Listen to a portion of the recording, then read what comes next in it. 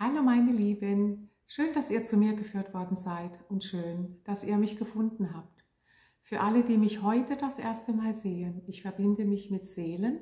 Das heißt, wenn du Fragen an deinen Seelenpartner hast oder an deine Seele oder an eine andere Seele, wie zum Beispiel deine Kinder, Eltern, Arbeitskollegen, Freunde, dann brauche ich die Fragen dazu. Ich verbinde mich mit der Seele, stelle mich als Kanal zur Verfügung und spreche das aus, was die Seele dir mitteilen möchte. Ich habe unter dem Video ein Live-Channeling verlinkt, das könnt ihr euch gerne mal anschauen, damit ihr ein Gefühl bekommt, wie, ja, wie das so abläuft. Ich habe auch ein Video verlinkt, ein kleiner Einblick in meinen Lebensweg über all meine Süchte. Ich hatte viele Jahrzehnte Bulimie, Magersucht, geraucht wie ein Schornstein und viele andere Süchte mehr. Und ich bin davon geheilt und befreit. Ja? Ähm, oh, da steht gerade, es ist ein Netzproblem aufgetreten. Äh, ich hoffe, das Video geht weiter. Entschuldigung. Ja, das wäre schade, wenn ich es jetzt umsonst mache, aber okay, geht wieder. Genau. Auch das könnt ihr euch gerne mal angucken. Und meine Webseite, was ich alles anbiete, Genau, auch da könnt ihr gern drauf gehen. Ich möchte gerne heute über das Thema sprechen, was es überhaupt heißt, liebevoll und achtsam mit sich zu sein. Weil das sagt man ja oft, ja, du musst dich erst annehmen, du musst dich lieben, du musst ähm, wertschätzend mit dir sein, du musst dich sehen, du musst dich wahrnehmen, bla bla bla. Ähm, ich, ich mache jetzt so bla bla bla, weil das habe ich ja früher auch oft gehört und habe gedacht, mein Gott, ja wie geht denn das oder ich bin doch dran oder an was erkenne ich es denn, ob ich es mache oder ob ich es nicht mache. Ähm, das hat mich sogar manchmal wütend gemacht. Ich denke, ja, ich will ja, aber hm. Und dann auch die Ungeduld. Ja, ich mache ja schon. Wisst ihr, und da geht es nämlich schon los. Dieses liebevoll mit sich sein, auf sich zu achten, bei sich zu bleiben. Wenn wir das alle können, da haben wir es ja geschafft. Wunderbar. Ich bin bei mir, weil wenn ich wirklich bei mir bin, liebevoll mit mir umgehe, mich achte, spüre, was ich will, wo meine Grenzen sind, dann bin ich ja im Hier und Jetzt. Ja. Aber wie komme ich dahin?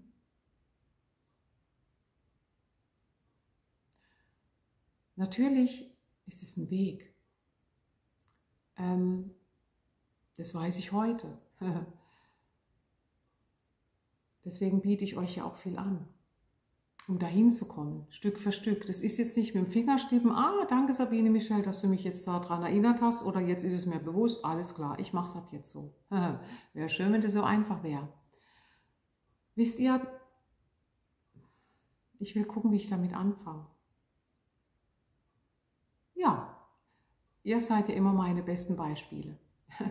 Ich hatte letztens eine Kundin in der Verschrittanleitung, die hat mich im Gespräch gefragt, Sabine Michel, an was erkenne ich denn, dass ich geheilt bin? Aha. Und ich habe eh bei ihr gespürt, ja, sie will am liebsten ganz schnell alles machen. Sie will auch, und es ist ja das Schöne, diese Voraussetzung, dass jeder hat, ich will, ich will bei mir ankommen, ich will mich heilen, ich will mich leben, ich will ihn am liebsten vergessen, weil ich denke ständig an ihn, ich will, ich will, ich will. Das ist ja bis zu einem gewissen Punkt gut. Aber äh, weil es ein Zeichen ist, dass du wirklich an dir arbeiten willst, dass du dies, das heilen willst, das Alte, was in dir ist. Das ist ja bis zu einem gewissen Punkt auch wichtig, diesen Elan zu haben, diese Kraft zu haben, in mich zu investieren, weil ich es will. Aber wenn man zu viel will, dann ist man im Kopf. Man spürt gar nicht sich. Und jetzt komme ich wieder zu der Selbstliebe, zu der Wertschätzung zu mir selber, zu, äh, zu, äh, zu dir selber. Und das hat sie dann auch verstanden. Ich habe das auch gut äh, mit erklärt dann. Ähm, Wenn du zu, zu viel willst, zu, dir zu viel Druck machst, bist du erstens nicht bei dir, zweitens bist du im Ego, zweitens bist du, du bist im Kopf. Und du siehst gar nicht, was deine Seele schon geschafft hat oder wo du spürst, wow, das habe ich schon geschafft oder wow. Das ist dann die Liebe, vielleicht spürt er das auch, das ist zu fühlen, ah stimmt, äh, ah, ich mache da gerade so einen Druck, Allein der Druck ist gerade keine Selbstliebe, ist keine Wertschätzung zu dir. Ich weiß, wir sind in einer, einer Gesellschaft, wo alles ganz schnell geht, wo am besten du musst fünf Dinge auf einmal machen. Aber das ist nicht die Re das ist das ist leider Gottes die Realität. Aber du kannst zurückgehen in dich, du kannst zu dir gehen. Und äh, das ist die Wertschätzung, das ist die Selbstliebe, die Achtung zu dir selber. Und dadurch spürst du auch, was du gerade brauchst, was du willst. Ja, ich will gerade bei mir sein. Das müssen wir auch üben.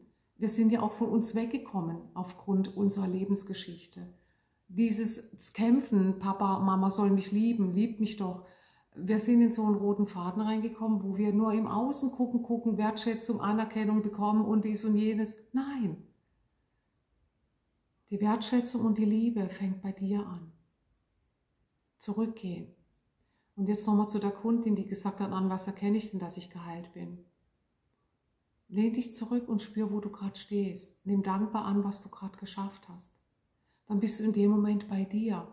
Und ich habe auch viele Kunden, die dann sagen, ja, aber das macht, das setzt mich so unter Druck, weil das heißt, du musst dich heilen, du musst das gemacht haben. Und das geht's gar nicht, sondern du stehst da, wo du gerade stehst. Oder auch andere Kunden sagen mir dann, ähm, ja, aber die hat es geschafft in so einer Zeit oder die hat es schon geschafft. Gehst du gerade liebevoll mit dir um? Wenn du so denkst? Nein. Du machst dich gerade klein. Du, du, du tust dich abwerten. Jeder hat seinen eigenen Seelenplan. Ich meine natürlich, wenn du jetzt mal knallhart gesagt nichts tust und siehst, andere schaffen es, ja klar, dann muss ich sagen, ja, dann bist du ja auch, das ist ja dann deins. Ich meine, von nichts kommt, du musst ja auch auf dich auf den Weg machen. Das ist ja logisch, ja. Ähm, aber die Kunden, die mir das mitteilen, die sind ja auch an, am Arbeiten, die, die nehmen, die sind ja auch, die unterstütze ich ja auch. Und trotzdem kommt die Frage und die ist auch berechtigt, weil ich das auch ja hatte. Aber dann immer wieder zu sagen, stopp, du bist doch dran. Du machst dir gerade Druck. Du hast doch deinen Weg schon. Du bist doch dabei. Ach, ach ja, ja stimmt. Du bist du. Jemand anders ist jemand anders. Du bist auf deinem Weg, da wo du jetzt bist. Und es auch liebevoll anzuerkennen und auch sagen, okay, ja, ich brauche da gerade das und das habe ich doch schon erreicht und ich weiß, das und das steht auch wieder an, wie zum Beispiel Sabine Michel, ja, die Blockadenlösung im Januar haben wir ja dann, dann freue dich drauf, aber bis dorthin hast doch du jetzt das, was du jetzt gerade hast, liebevoll zu integrieren und nicht schon zu denken, ja mein Gott, aber ich will jetzt das nächste und das muss jetzt auch noch sein. Nein. Vergleiche dich bitte nie mit jemand anderem. Bitte nicht. Das habe ich ja so gemacht. Gerade beim Karl, wenn ich gesehen habe, da guckt ein bestimmten Frauentyp nach, wo ich gedacht habe, scheiße, das bin ich ja gar nicht. Äh, ich habe nur mal nicht, äh, was weiß ich, diese großen äh, äh, äh vor mir, sondern, ich, das ist jetzt ein Beispiel, ja, ich habe halt, ich bin, ich habe nur mal das, äh, soll ich jetzt mir was implantieren oder vergrößern lassen, nur damit er mich toll findet, ist jetzt so ein Beispiel. Ähm, oder ich habe jetzt nun mal nicht das, was die hat. Und es tut weh. Wir wollen, wir wollen, ich habe mich verglichen, ich wollte es haben. Weil er das an der toll gefunden hat, wollte ich das haben. ich denke, nein, heute weiß ich, ich bin, wie ich bin. Und ich bin gut so, wie ich bin. Und ich bin liebenswert, so wie ich bin. Und wenn er das nicht begreift, das weiß ich heute, ähm, ja, dann bin ich die Falsche. Dann muss er halt jemand suchen, der so ist. Und zum Glück, der Karl ist es ja jetzt nicht mehr, aber früher war es so. Ähm, und deswegen ist es jetzt so ein Beispiel, dass ihr bei euch guckt. Ihr seid so, wie ihr seid gut. Und wenn ihr aber spürt, aber ich weiß noch gar nicht richtig, wer ich bin, ähm, deswegen seid ihr ja jetzt vielleicht an meinen Kanal gestoßen oder deswegen seid ihr ja bei mir. Ich unterstütze euch ja, um immer mehr dahin zu finden. Das ist doch nicht mit dem Fingerschnippen einmal getan. Aber diese Liebe zu euch zu haben, okay, ich bin wie ich bin, das zu finden. Ich weiß, meine Eltern haben mich auch nicht so angenommen, wie ich bin. Und wir jagen irgendwas hinterher, um endlich mal die Liebe und die Anerkennung zu bekommen. Find sie in dir. Und da geht's los. Mach den Druck weg, sondern sei, sag dir, ich bin dabei und ich bin auf meinem Weg und ich habe die Unterstützung. Ähm, um das geht's. Geduldig zu sein, liebevoll mit dir zu sein. Und nicht dich zu messen, ja, wann bin ich denn fertig? Wann ist es denn geheilt? Ja, wann bin ich denn geheilt? An was erkenne ich das denn?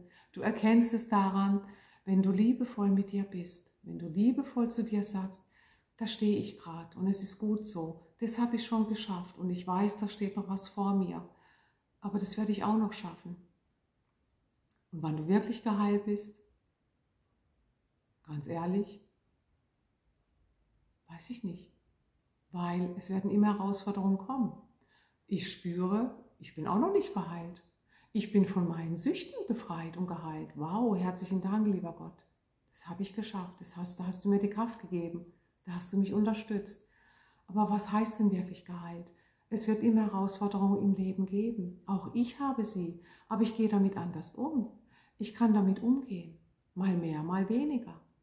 Ähm, dann gibt es mal wieder eine Zeit, wo ich eine Wut hatte habe ich euch, glaube ich, im letzten oder vorletzten Video mitgeteilt.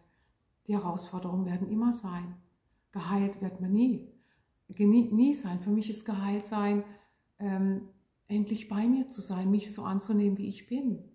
Aber trotzdem kommen Herausforderungen. Ich bin von meinen Süchten geheilt. Ja, wenn du das geschafft hast, du hast eine Sucht, ja, herzlichen Glückwunsch, dann bist du von der Sucht geheilt. Aber wann du wirklich geheilt bist, du als, sag ich mal, Brigitte, oder Bärbel. Es wird immer was geben. Es ist die Art, wie du damit umgehst. Wie wertschätzend du dann in dem Moment zu dir bist. Verurteilst du dich in dem Moment? Kommst du wieder in eine Sucht rein in dem Moment? Hast du eine Wut auf eine andere Person in dem Moment? Ähm, geheilt ist oder die Wertschätzung ist für mich geheilt sein, wenn ich in jedem Moment mit der Situation umgehen kann oder reflektiere und spüre, ah, das und das ist es gerade, dankbar zu sein, ah, mich lieb, wieder liebevoll annehmen, okay, ich weiß, die Herausforderung habe ich, aber ich, ich gebe das Beste, ich gehe achtsam mit mir damit um, ich gehe liebevoll mit mir um, ich mache mir keinen Druck, das sage ich jetzt so leicht, natürlich gerade ich da auch rein, aber sich dann zu besinnen, das ist das Achtsame mit sich sein. Jeder Moment liebevoll mit sich sein. Das ist nicht einfach, stecke ich auch drin. Aber sich zu erinnern, stopp, ich gehe gerade nicht gut mit mir um, ich, ich will gerade was, ich mache mir gerade Druck, ich bin gerade ungeduldig. Das, ist nicht liebevoll. Und jetzt nochmal auf den Anfang zu kommen, wie, geht man, wie macht man das, habe ich gerade gesagt. Jede Situation liebevoll mit dir sein.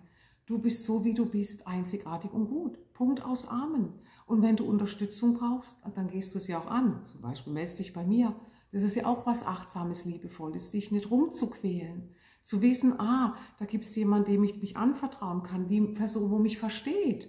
Dann kläre ich das. Ja, wunderbar. Und schon geht es dir besser. Erlebe ich ja auch in vielen Gesprächen. Und so weiter. Aber vergleiche dich nie mit jemand anderen oder die ist so weit oder der, die hat das schon, das will ich auch. Nein. Das ist nicht liebevoll und achtsam mit dir umgehen. Du bist so, wie du bist, gut. Und wenn du spürst, dass du was weiter willst, wo du merkst, da steht was an, auch das liebevoll annehmen und auch sagen, okay, ich gehe es dann an. Dann und dann habe ich zum Beispiel den Termin oder dann und dann mache ich das. Und bis dorthin, so gut es geht, liebevoll mit dir zu sein. Dich nicht zu verurteilen, dich nicht zu vergleichen. Das kannst du sofort jetzt auch machen. In jedem Moment. Er ist noch nicht da. Ja, ich weiß. Aber du hast dich gerade. Geh liebevoll mit dir um. Sei im Vertrauen. Das auch ist, ich weiß, es ist so einfach gesagt, sei im Vertrauen. Ich weiß es doch. Aber letztendlich geht es dorthin die Geduld, die Liebe zu sich selber, im Vertrauen zu sein, es abzugeben an Gott, lieber Gott, ich gebe es in deine Hände. Auch das, übrigens, ich, ich arbeite, ich bin sehr mit Gott und mit Jesus verbunden. Das ist mein Weg. Ich gebe es ab. Mach du für mich, ich kann gerade nicht oder zeig's mir. Augen und Ohren offen zu halten. Das heißt nicht, dass, wenn ich es ihm jetzt mitgeteilt habe, schwupps, kriege ich gerade ein Ergebnis präsentiert. Aber das wäre ja auch toll, wenn das immer so wäre. Sondern immer liebevoll zu sagen, ich vertraue drauf, ich weiß, das will mir was zeigen, das will mir was sagen, die blöde Situation gerade oder dass das und das immer noch nicht da ist. Ja, sei liebevoll mit dir und wenn du spürst, da ist noch was Tieferes in dir, dann geh es an. Ich bin da. Okay? Ich hoffe, ich konnte es euch gut, so gut es geht rüberbringen. Ich kann euch da gut verstehen, ich war ja auch so. Ich habe gedacht, und das mache ich noch und das und das muss alles schnell sein, wie so ein Abhaken. Das habe ich jetzt auch gemacht. Okay, das habe ich auch gemacht. Nein, die Seele muss auch mitwachsen können. Und gerade die Vier-Schritt-Anleitung ist ja so wertvoll mit der Meditation in der Nacht. Das geht so ach, im Schlaf. Viele kriege ich auch die Kommentare dann oder die, die auch die Blockadenlösung dann mit integrieren natürlich die sagen ja auch, wie wertvoll die Vier-Schritt-Anleitung ist. Oh, und das habe ich jetzt, das ist so schön, da merke ich, wie ich da eine Ruhe reingekriegt habe, wie sich das jetzt gelöst hat. Das ist eine andere Energie, ja. Ähm, und es ist schön. Alles geht Stück für Stück. Okay? Ähm, alles braucht seine Zeit. Und ich vergleiche das immer mit, ähm, mit einer Pflanze. Wenn du was pflanzen möchtest in einen Topf, dann muss erst die alte Erde raus. Die muss raus. Deine Vergangenheit, deine alten Muster, all das Alte muss raus. Schmeiß die Erde raus. Und erst dann kannst du neue Erde reinmachen, dass auch von Grund auf was Neues gesät werden kann. Und es wächst dann auch. Wenn du auf eine alte Erde, weil du sagst, naja, jetzt habe ich ein bisschen was gemacht, ich bin jetzt ungeduldig, ich will jetzt was Neues, ah, ich habe jetzt da jemand kennengelernt, schwupps, du wirst ziemlich schnell merken, aufgrund der Situation, wo du wirklich stehst, weil er wird dir auch ab da die Wunden wieder von Latz knallen. Das heißt, wenn du auf eine alte Erde ein Stück raus machst von der alten Erde und was Neues einpflanzt, obwohl es noch nicht auf einem tiefen Punkt war, dass da noch nichts, dass da einfach noch was Altes ist, dann kann auch das Neue nicht wachsen, weil die neue Erde auf der alten Erde liegt es kann nicht fruchten. Es wird wieder ja, knallen die, äh, bei jedem Thema, wo auch jeder steht. Und da auch liebevoll, sogar dann liebevoll zu sein und zu erkennen, okay, ich merke, da bin ich zu schnell was angegangen oder ich habe was übergangen oder ich habe gedacht, ich schaffe es alleine. Auch das sollte dann so sein. Das heißt, ich bin für euch da, dann wird wieder ein Stück alte Erde rausgeholt. Das ist so wichtig. Und interessanterweise habe ich das als Kind schon gefühlt. Und da ist was dran. Wir müssen, dass was beständig wachsen kann. Auch wie ein Baum. Es muss von Grund auf langsam, aber stets wächst es dann dafür. Ja, die Geduld, dieses Vertrauen in sich ist so wichtig und auch dran zu bleiben, wenn er spürt, da kommt wieder was. Das ist auch achtsam und liebevoll mit sich sein. Viele sagen dann, ja weißt du, wenn ich sie frage, ja warum meldest du dich jetzt erst? Ah, ich habe gedacht, ich schaff's allein. Das ist nicht liebevoll mit sich sein, wenn du dich quälst, wenn du dich kaputt machst, wenn du nachts nicht, wenn, wenn, die, wenn die Zweifel da sind. Du bist dann in dem Moment nicht liebevoll und achtsam mit dir. Und das Schöne ist, es ist ja wie ein Quantensprung dann. Ah, danke Sabine Michel, jetzt verstehe ich es, jetzt weiß ich, ja, ich werde das und das machen. Je nachdem, was es ist, ist dann auf einmal die Lösung da, einen Schritt weiter zu gehen. Und dann spürt ihr, ah, wie toll das ist. Ihr seid euch wieder ein Stück näher gekommen. Und es ist ein Prozess. Das ist nicht von einem halben Jahr oder Jahr, was jahrzehntelang falsch gelaufen ist, gut zu machen. Ja, wann bin ich endlich fertig? Nein. Und dieses Gefühl müsst ihr haben, dürft ihr hinwachsen, diese Liebe zu euch, okay. Es geht langsam. Oder das und das habe ich schon geschafft. Wow, das ist doch so wertvoll. Und da aufzubauen und dran zu bleiben und nicht dahin zu gucken, was noch nicht ist oder was nicht gut läuft. Guck dahin, was schon gut läuft. Und wenn es nur kleine Schritte sind und wenn es nur ist zu erkennen, zum Glück bin ich nicht mehr in so einem tiefen Loch, wie ich früher war. Ich bin zwar wieder im Loch, aber ich komme schneller raus. Und ich bin ja dran. Wow, ich kann euch trösten, mir geht es trotzdem auch so. Ich sage euch was, wo ich mich aber selber auch sagen muss, Sabine Michelle, gell? Das, was du gerade sagst, darfst du dir auch selber anwenden. Ja, aber ich bin dann auch ganz schnell wieder bei mir. Ja, ich fühle es ja, ich weiß es. Es ist dann wieder nur, der Karl erinnert mich ja dann auch und so, hey, hey, ah ja, hast ja recht. Es ist ja schon in mir drin. Und ähm, ah, ich weiß, diese liebevolle Achtsamkeit. Ja, ich weiß, geduldig sein, was ich schon geschafft habe. Und es ist so wichtig. Okay? Also, vergleicht euch bitte nie mit jemand anderem und nie, die hat es schon geschafft, der hat es geschafft, die weiß schon, was sie will, ich habe es noch nicht, dabei mache ich doch schon. Nein, du tust dich in dem Moment sowas von verurteilen und klein machen, Opfer. Nein, sondern okay, die Person hat schon geschafft, die hat ihre Seelengeschichte, äh, du kennst doch die ganzen Geschichten, den Vorlauf nicht. Deswegen auch deswegen ist es so bescheuert zu sagen, sich zu vergleichen. Du bist du. Du hast deinen eigenen Seelenplan. Und allein das schon ist doch ah, beruhigend oder zu sagen, okay, ich weiß, besinn dich. Okay? So. Also, ich hoffe, ich konnte euch ein Stück weiterbringen. Wenn euch das Video gefallen hat, Daumen hoch, abonniert mich, aktiviert die Glocke. Vielleicht für ein oder andere, wo jetzt ein bisschen so ein Aha-Effekt hatte, würde ich mich auch über einen, kleinen, über einen Energieausgleich freuen. Könnt ihr gerne ganz unten in der Webseite sehen, wo ihr überweisen könnt. Ja, und ansonsten, wenn was ist, ich bin für euch da. In der Webseite findet ihr alles, ist alles ganz einfach. Was euch anspricht, könnt ihr gerne buchen. Hab euch lieb, eure Sabine Michel. Tschüss.